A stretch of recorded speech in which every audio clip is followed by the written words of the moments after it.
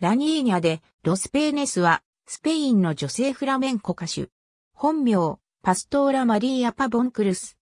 歌を制御とするジプシーの子として生まれ、父はビソデルアルコール出身のエルパイティとして知られるフランシスコ・パボンクルス。母はアラール出身のパストーラ・クルス。二人の兄弟トマス・パボンとアルトゥーロ・パボンも共に歌手である。8歳の時、長兄の代役として、セビリアの春祭りに出展していた小屋と契約して、人前で初めて歌を歌った。1901年、マドリードのカフェデル・ブリリアンテでデビューを果たし、そこで、イグナシオ・スローアガと知り合い、ビルバオのカフェで、ラスコルムナスで歌うよう説得された。その当時からよく歌っていた数曲の単語フラメンコが元で、ラニーニャでロスペーネスという名で知られるようになった。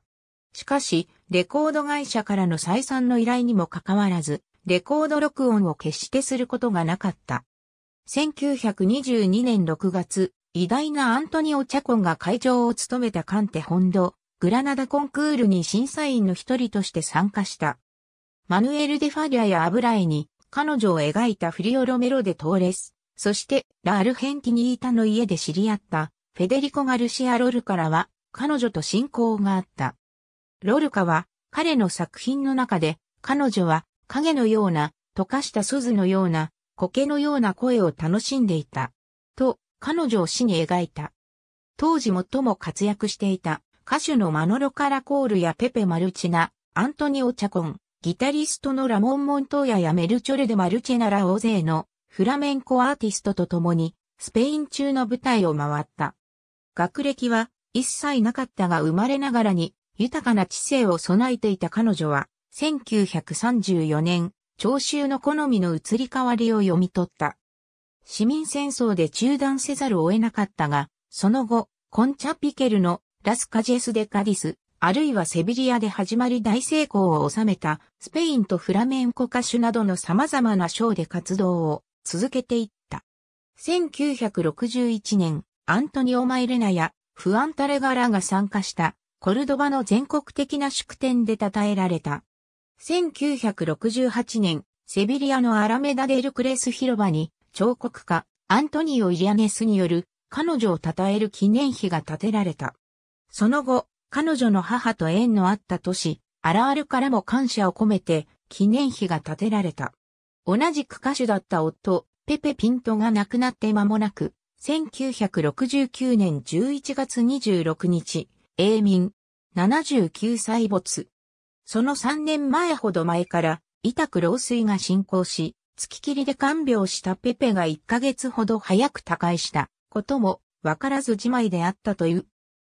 彼女の葬儀には、セビリアの街並みが花束を持つ人々で埋まったと、報じられたフラメンコすべてに精通した完璧なフラメンコ歌手であったが、特にシギリージャ、タンゴ、ペテネーラ、ブレリア及びソレアで結出した存在で、さらにバンベーラなどの新しいスタイルも生み出した。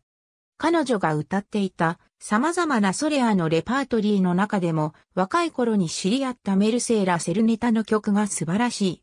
アンダルシア評議会は彼女の歌声を文化財産に指定した。1910年から1950年には258曲をレコーディングし、これらは2004年13枚の CD で発表された。この復刻作業はアンダルシア評議会文化審議会の付属機関であるヘレスデラフロンテーラに拠点を置くアンダルシアフラメンコセンターの尽力により可能となった。この作品には8ヶ月間に30人が関わり、その中には12人の研究者も参加していた。この録音はまさに音楽の宝であり、ギタリストのラモン・モントーヤや、ニーニョリカルド、マノロデ・バダホス、アントニオ・モレーノ、ルイス・モリーナ、クリート・デ・ラ・ヘローマ、メルチョル・デ・マルチェナが伴奏に加わった。例として、ラニーニャ・デ・ロス・ペーネスが歌った歌詞を数曲示す。エルテミのアンディブでオリゲンコロプエでトラデューサース、ポルディオス、コロ語起源の単語、アンディブは神と訳してもよい。マヌエル・ボールケス、パボン家のラニーニャでロスペーネス。アンダルシア、アンダルシア出版記号、2000年。ISBN 8495122324。ありがとうございます。